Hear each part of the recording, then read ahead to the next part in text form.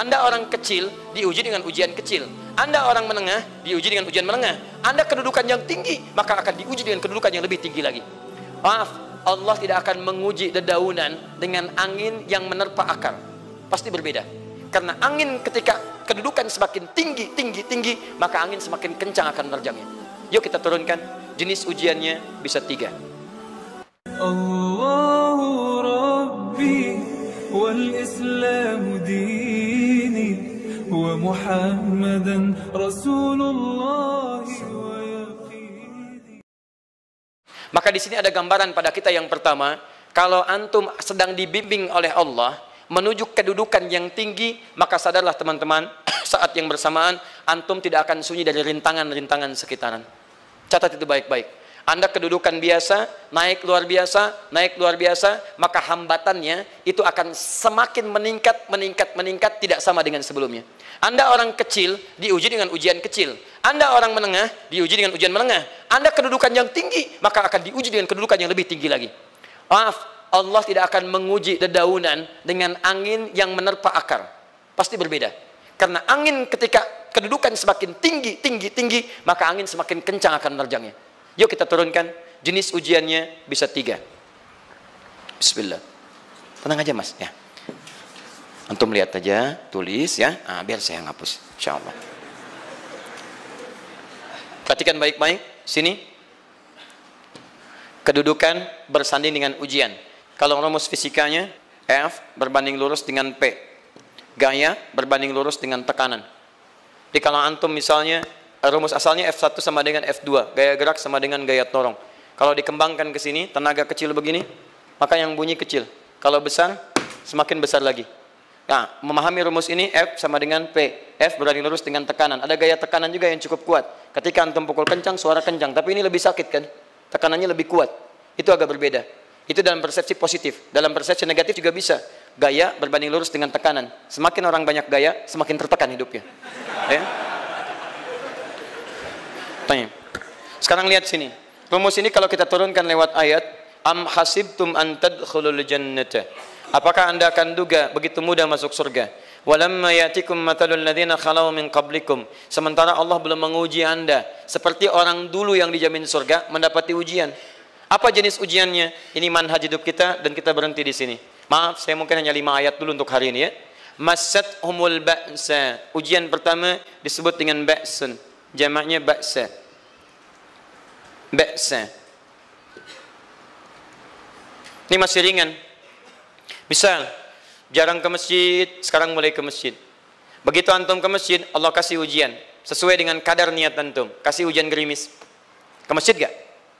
Itu ba'san. Begitu antum ke masjid, orang Arab katakan, Eh, nazil matar. Turun hujan. La ba's. La ba'sa. La ba'sa. Gak ada masalah. La ba'sa. Tidak ada masalah. Serap ke dalam bahasa Indonesia, lewat. Labas. Labas, lewat. Ringan. Berarti, kalau antum diuji dengan yang ringan, maka antum kadarnya masih ringan, akan dinaikkan kepada yang menengah. Akan yang menengah. Hati-hati betul. Kalau antum belum lulus yang di sini, maka antum akan terus sampai di sini, sampai lulus di sini. Sampai lulus. Antum mau berangkat ke masjid gerimis bisa. Tiba-tiba nggak jadi ya di rumah.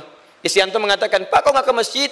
Hujan mah kan cuman gerimis, takut teriak, takut teriak, masya Allah. Padahal antum misalnya belum kuat untuk berangkat, maka antum akan terus diuji di sini. Lihat rumusnya, Quran surah kedua ayat 286. La yukallifullahu nafsan illa Allah tidak akan pernah menguji seorang hamba di luar kadar kemampuannya. Jadi kalau antum masih ujian yang ringan, antum diberikan yang ringan. Antum naik menengah, diberikan yang menengah. Antum naik lagi level tinggi, diberikan ujian yang berat. Menengahnya disebut dengan darrun. Waddarra. Dari ba'sun jadi darrun. Jama'nya darra. Sudah menyakiti fisik. Kena fisik. Sudah melukai. Hujannya makin deras. Ya. Kalau dalam kehidupan, yang ini mungkin celaan biasa. Duh, sudah berubah ya. Masya Allah. Sekarang jilbabnya sudah panjang. Masya Allah. Duh, semakin panjang ya. Yang ingin Batman ya. Masya Allah. Udah banyak. Begitu sudah mulai pakai cadar, ninja. Oh, Masya Allah. Dorna, sudah nggak enak ke fisik. Dornun. Dornun. Lihat rumusnya ya. Lihat rumusnya baik-baik. Ini lebih menenangkan pada jiwa. Ketika anda dalam level-level seperti ini, Ini artinya Allah sedang menaikkan iman Anda dalam level yang lebih tinggi lagi.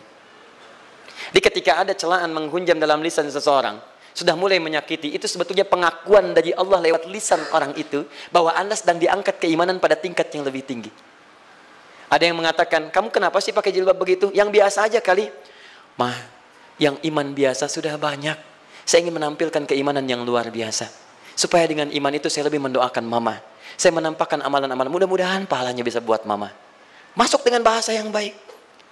Masya Allah. Jadi kalau antum bisa melawan hal-hal demikian dengan bahasa yang indah, itu nyaman kepada jiwa. Kadang-kadang ada kalimat-kalimat yang tidak perlu pakai dalil teman-teman sekalian. Kembalikan ke sini. Terakhir, wazul zilu zilzal. Zulzilu. Zilzal. Gempa. Goyang. Dia ada ujian yang bisa menggoyangkan diri kita. Membuat gempa hati kita Antum sudah nggak kuat, kadang-kadang jalan sempoyongan, padahal nggak ada gempa di luar. Cuman hati kita kayak kena goncangan. Diserang sana, serang sini, nggak bisa tidur, nggak bisa makan, tawarin ini susah, itu susah. Wazulzilu. Bahkan hatta yaqula Rasul walladzina amanu ma'ahu mata nasrullah. Sampai-sampai Rasul SAW, bahkan orang-orang beriman, bahkan yang setelahnya bisa mengatakan kapan ini berakhir.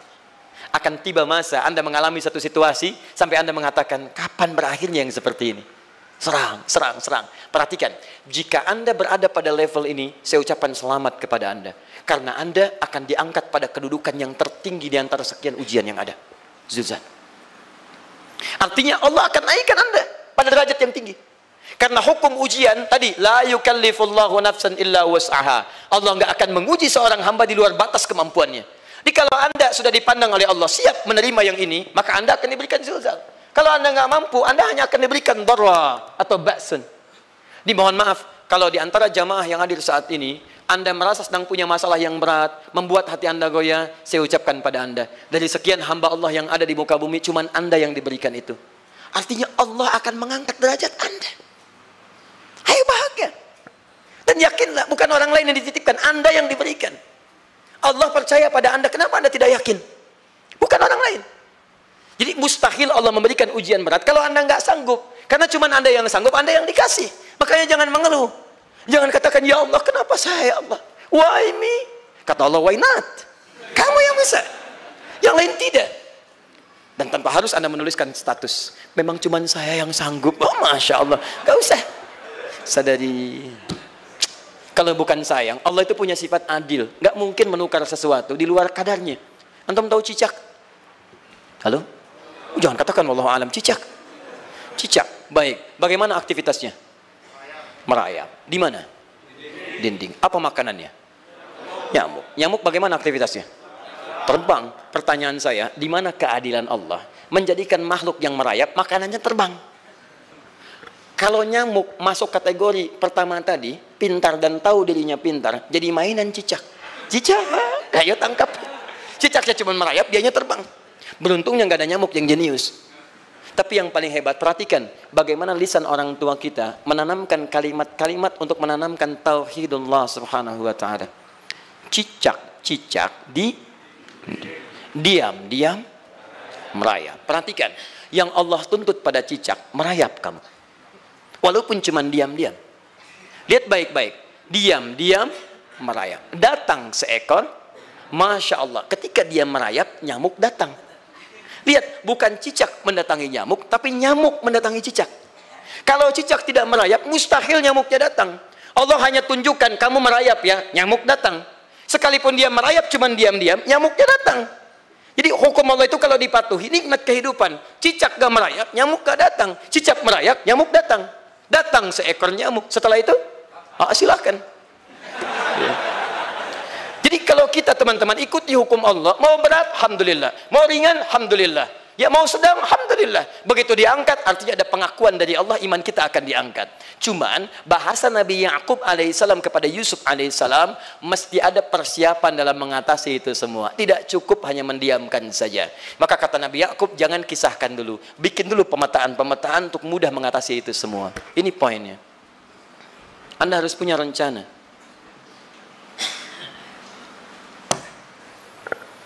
Maka Nabi Yakub menyiapkan. Bekali dulu ini, siapkan ini, siapkan itu. Kalau ambil ke aspek teori untuk kita sekarang, tafsir dari ini, untuk menyelesaikan solusi di Quran surah kedua ayat 214 tadi, maka jawabannya ada di Quran surah ketiga ayat 142 paling kiri sebelah atas. Ini kanan sebelah bawah, ini kiri sebelah atas. Dan awal ayatnya dibuka dengan kalimat yang sama. Perhatikan, Al-Baqarah ayat 214 kalimatnya menggunakan am hasibtum an tadkhulul jannah. Ali Imran 142 am hasibtum an tadkhulul jannah. Yang Al-Baqarah itu ujiannya walamma ya'tikum mathalul ladzina khalau min qablikum masathumul ba'sa wad-dharra waz-zulzilu. Yang Ali Imran itu solusinya. Am hasibtum an tadkhulul jannata walamma ya'lamillahu alladhina jahadu minkum wa ya'lamas sabirin. Saya tutup sampai sini dulu. Teman-teman perhatikan walamma sedangkan Allah ya'lamillahu alladhina jahadu minkum belum melihat kesungguhan Anda untuk mengatasi berbagai persoalan kehidupan itu. Kalimat jahadu akar katanya dari kata al-juhdu. Serius. Sungguh-sungguh. Jadi kalau persoalan Anda ingin segera selesai, Anda mesti serius. Hei yang sedang kuliah, kalau mau cepat selesai kuliahnya, serius belajarnya. Pahami dengan baik. Kalau Anda nggak pernah serius, bagaimana bisa menyelesaikan pelajaran dengan baik? Hei yang sedang berumah tangga, kalau ingin baik rumah tangganya, serius dalam berumah tangga. Keluarkan hukum-hukum Allah, terapkan dalam kehidupan rumah tangga. Anda akan mendapatkan manfaatnya. Hei yang sedang berbisnis, serius dengan pekerjaan. Karena hanya orang serius yang bisa menghasilkan kekayaan-kekayaan yang terbaik. Serius dalam ibadah, karena ibadah melahirkan keberkahan dengan kekayaan yang Anda dapatkan dari titipan Allah Subhanahu wa taala. Ayo serius. Al-juhdu dibagi tiga bagian. Satu, serius dalam merencanakan, disebut ijtihad namanya. Bikin rencana.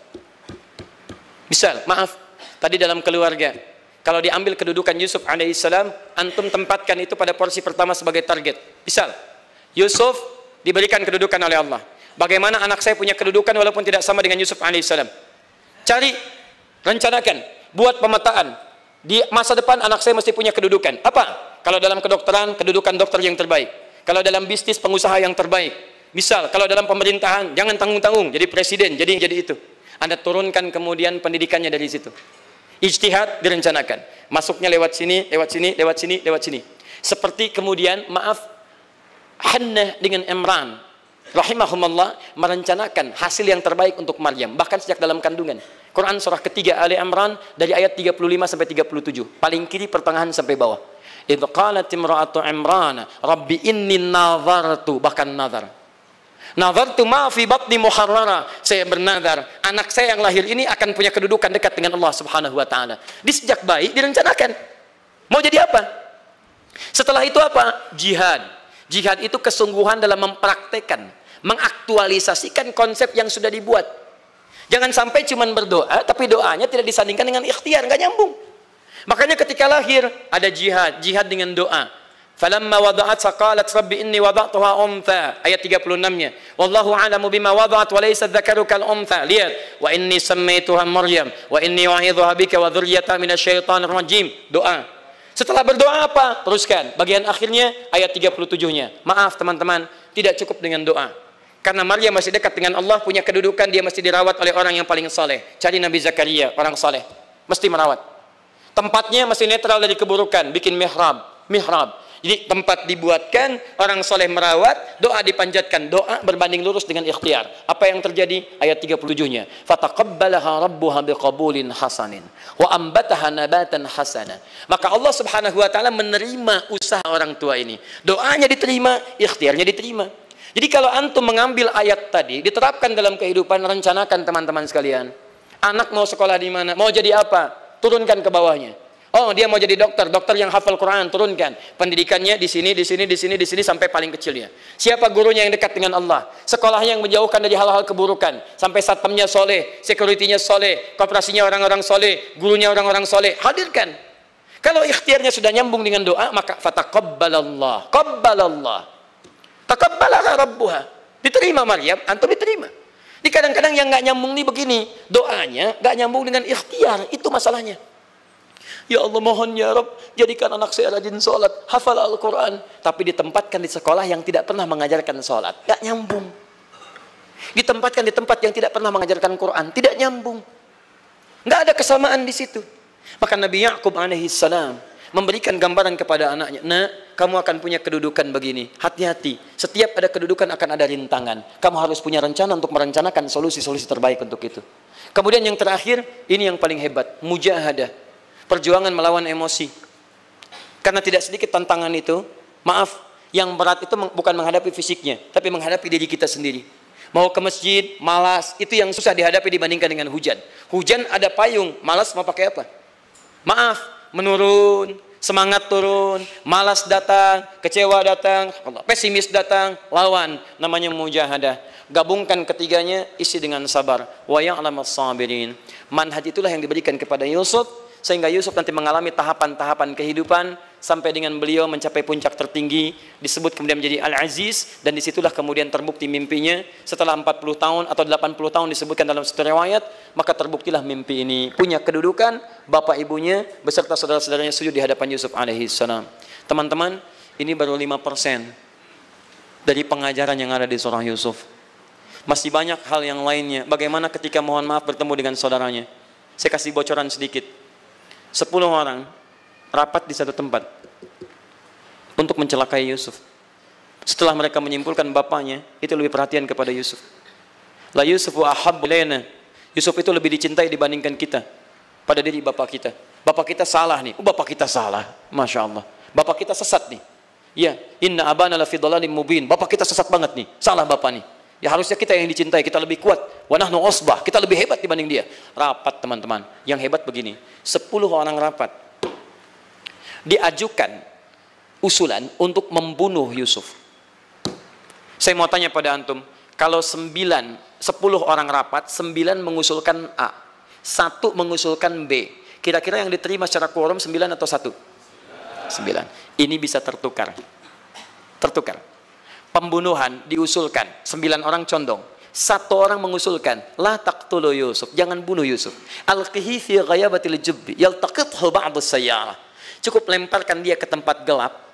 Kemudian di tempat itu akan lewat para kafilah, dia diambil dan menjauh dari kita. Yang penting kan Yusufnya nggak ada, supaya dosa kita nggak berat-berat amat. Yusufnya ambil, itu kan tujuan kita. Lihat baik-baik. Biasanya setan kalau sedang melakukan sesuatu itu nggak akan nanggung. Nodong bisa pembunuhan, lempar bisa perampokan. Tapi ini yang aneh, kenapa sembilan orang yang untuk membunuh itu tiba-tiba belok menyepakati rencana yang pertama? Yang satu orang. Sembilan orang, sepuluh orang rapat, sembilan punya A. Tiba-tiba yang sembilan berpindah kepada yang B yang cuma satu orang. Kenapa bisa terjadi? Ada rahasia di situ. Kapan rahasianya? Kapan-kapan kita bahas lagi.